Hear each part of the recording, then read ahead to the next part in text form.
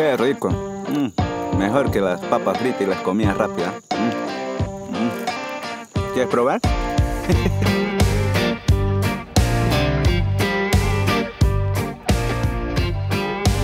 primero se lo ubica la palmera y se lo escucha y suena de distintas formas.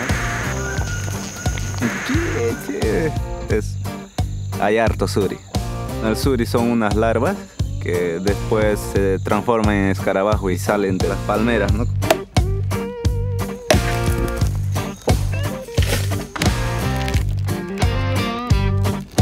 Este es un suri de ungurade. Del agua es más duro. Esto es puro, pura grasita. Huele riquísimo. este es de, del aguaje. Más grande, este es un pequeñito, está. Y agarra fuerte, ¿no? Cuando muerde. igual, huele igual. Ah, qué rico. Mira. ¿Mm? Riquísimo. También me lo como de las dos especies. Buenazo. Pero seguimos pecando.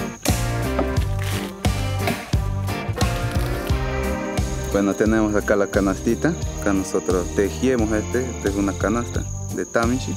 Aquí vamos a recolectar los suri, que es más, más cómodo que llevar un envase de plástico, ¿no?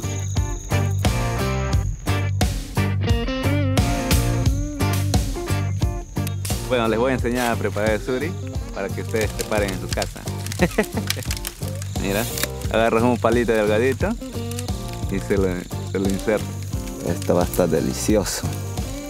Ahora vamos a proceder a asarle.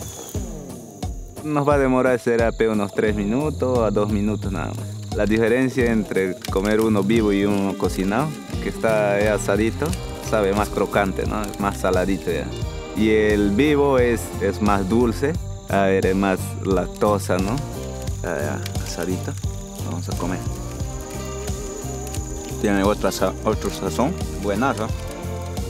Ah, qué rico.